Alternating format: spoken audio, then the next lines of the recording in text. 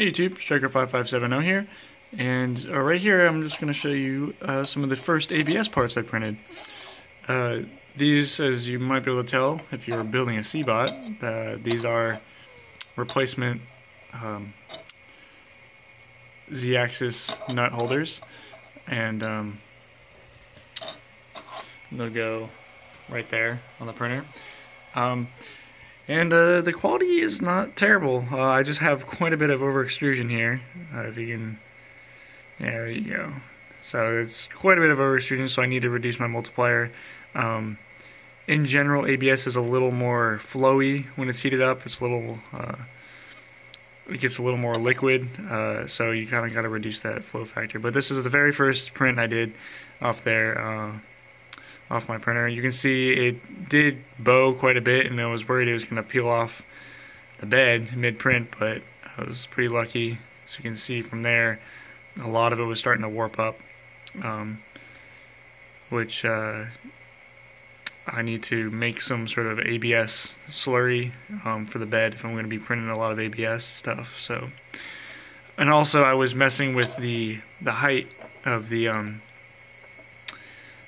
I was messing with the uh, z-axis height during the first layer, so that's also kind of why I didn't state this one, and the bottom looks not so great because um, I was adjusting the layers. Um, and uh, another thing I noticed with ABS, it is since it is a bit softer, um, the uh, the extruder uh, was starting to bite into the filament, and the filament wasn't feeding right um, because I had originally the uh, bed was too low, so it wasn't able to push filament through, and so that's why I was messing with the bed height. Um, and the reason I was messing with the bed height was uh, I actually, uh, while I was about a week ago, I had a pretty bad crash um, on the z-axis. I don't know if you can see. But the PLA has started to crack right here. Um, and it's it's starting to affect the, the, print. So the bed was starting to kind of not go up all the way. Um, that happened because the crash. The reason for the crash was during the homing.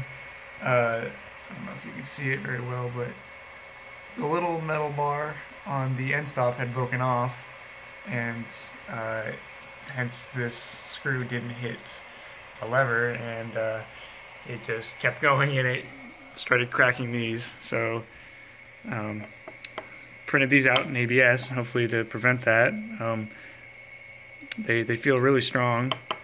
These are printed at, um, I think I did 25% infill. Um, so not too terribly um, dense, but they, uh, they do sound quite a bit different from a PLA part. They sound a little um, little lower pitched when you hit them against something, as if like you know it is softer plastic, so that does make a little more sense. Um, I wouldn't say lower pitch, perhaps just a um, a softer tone because they are soft. Um, anyways, um, I will be uh, doing some more stuff with ABS and perhaps some other filaments. Um, I want to get a roll of PETG and uh, try my hand at that. Um, so anyways, uh, that was just a quick update. Uh, any questions, feel free to post in the comment section below, and I will answer those as soon as possible. Again, thanks for watching.